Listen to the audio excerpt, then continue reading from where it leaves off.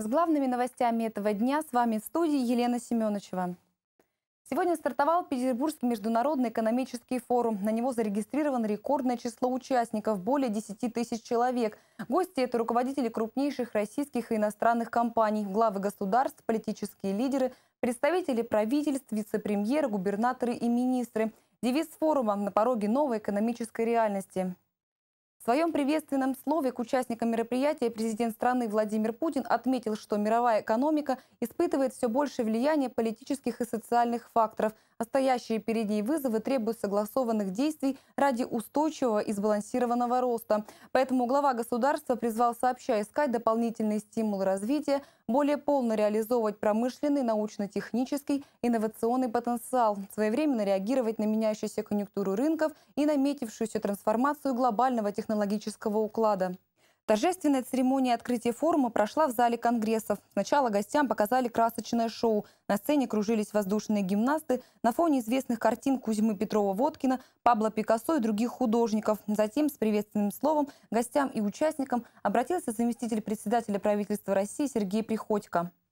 За прошедшие два десятилетия наш форум стал признанной во всем мире площадкой для открытого диалога представителей бизнеса и власти для разговора официальных кругов и деловиков по наиболее острым, насущным проблемам, которые касаются каждого из нас, которые касаются каждой из наших стран. Программа юбилейного форума – одна из самых насыщенных за все его время проведения. Три дня включает в себя более 100 мероприятий, деловые форумы ШОС и БРИКС – саммит энергетических компаний, конференция по экономическому развитию Арктики, специальная сессия Валдайского клуба и форум деловой двадцатки.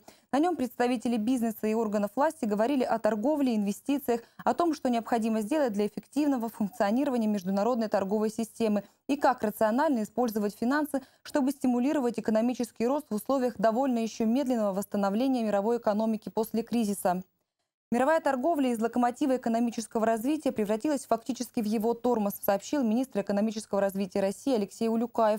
Мы в России также сталкиваемся с последствиями этого глобального вызова, который в том числе выразился в серьезном падении товарных рынков. Но нижняя точка спада пройдена. Идет достаточно быстрое восстановление российской экономики. Начиная с третьего квартала российская экономика будет показывать рост. Говоря о иностранных инвестициях, стоит отметить, что после непродолжительного периода, вызванного некоторыми геополитическими разногласиями, зарубежные компании постепенно возвращаются в Россию. По данным британского консалтингового агентства Ernst Young, которое сегодня озвучило результаты собственного исследования, по темпам роста иностранных инвестиций Россия вышла на первое место среди 10 европейских стран.